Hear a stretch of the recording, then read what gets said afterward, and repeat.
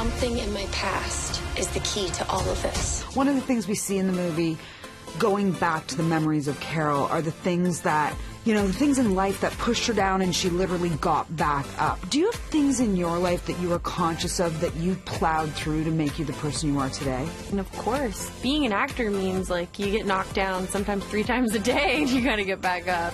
That's a huge part of my life and who I am, and it's a huge part of why I feel mm, like grateful and resilient in a way that in the moment when you're getting knocked down, it seems like, why is this happening to me? But now, you know, a, after a decade of it, a decade later, I'm so grateful for it. Yeah, it's amazing the things that in the moment you feel a certain way and then you're like, but look who I am now. Yeah, but that takes time too. I'm 29 now, and I feel like I'm just at the point where I'm starting to have a new relationship to my memories. And that couldn't have happened before. It's just merely because of time. You've come a long way.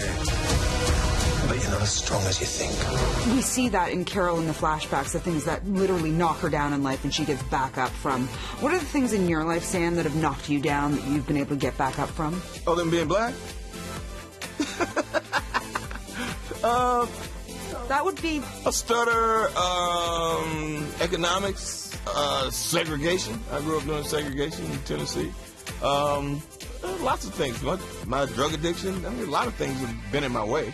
Yeah, I figured out how to get back. you figured out how to get back. You're now the most bankable star, movie star in Hollywood. I think you figured it out pretty well. Thank you. One of the themes in the movie for certain is things that have knocked her down in life and she's gotten right back up from.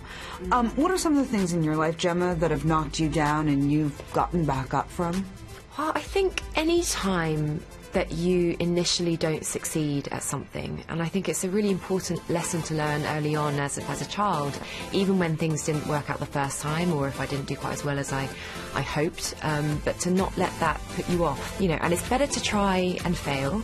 Um, than to not try at all. Like, you know, disappointment is a temporary thing, but regret lasts forever. So it's better to go for it.